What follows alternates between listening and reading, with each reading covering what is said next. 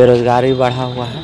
इसके लिए आरजेडी के साथ रहना भी ज़रूरी है। अभी जो भी होगा आरजेडी के साथ उसका गठबंधन होगा सही होगा। फिर गठबंधन टूटेगा फिर पब्लिक का ध्यान भटकेगा।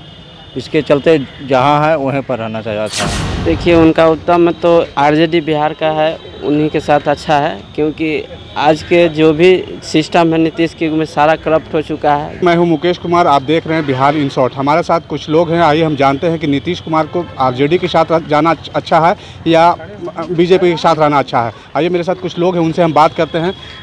अच्छी बताइए कि नीतीश कुमार को भाजपा के साथ रहना अच्छा है या आरजेडी के साथ जाना अच्छा है? आरजेडी के साथ जाना अच्छा है। क्यों?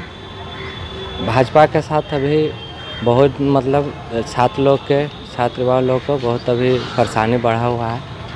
बेरोजगारी बढ़ा हुआ है। इसके लिए आरजेडी के साथ रहना भी ज़रूरी है। अच्छा चलिए हम इनसे जानते हैं। कि अच्छा बताइए कि नीतीश कुमार को भाजपा के साथ रहना अच्छा है या आरजेडी के साथ जाना अच्छा ना आरजेडी के साथ रहना ठीक है क्योंकि इसका सरकार में महँगाई और बेरोजगारी बहुत बढ़ी हुई है और छात्र लोग के कोई साधन नहीं है न आने जाने का पढ़ने लिखने का।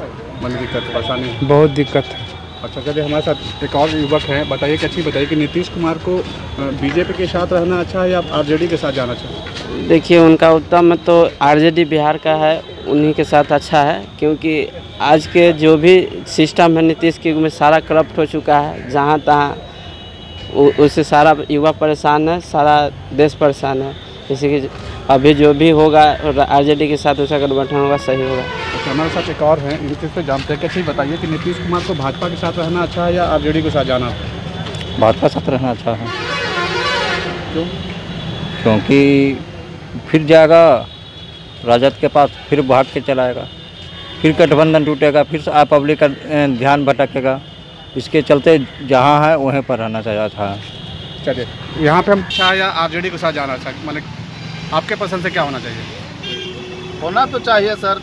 सरकार में बदलाव आरजेडी होना चाहिए आरजेडी के साथ जाना चाहिए। एक बार मौका नीति नीतीश जी तेजस्वी यादव को दे। ज़्यादा अच्छा है नवयुवक संघ है। अगर मान लीजिए कि भाजपा के साथ है तो क्या दिक्कत है? दिक्कत तो नहीं है सर लेकिन दिक्कत है। क्या? पब्लिक दिक्कत है। पब्लिक को ज़्यादा कठिनाई उठाना पड़ेगा। पूरा लगाम उनके पास हो जाएगा ताला चाबी सब चीज़ महँगाई देख ही रहे हैं। तमाम लोगों की राय जाने कुछ लोगों का कहना है कि ज़्यादातर लोगों का कहना है कि आरजेडी के साथ नीतीश कुमार को जाना ज़्यादा अच्छा रहेगा जबकि कुछ लोगों का कहना है कि नहीं जहाँ हैं वहीं रहना उनके लिए ज़्यादा बेहतर है। बेरोजगारी बढ़ा हुआ है इसके लिए आरजेडी के साथ रहना भी ज़रूरी है। अभी जो भी होगा आरजेडी के साथ उसका गठबंधन होगा सही होगा। फिर गठबंधन टूटेगा फिर पब्लिक का ध्यान भटकेगा।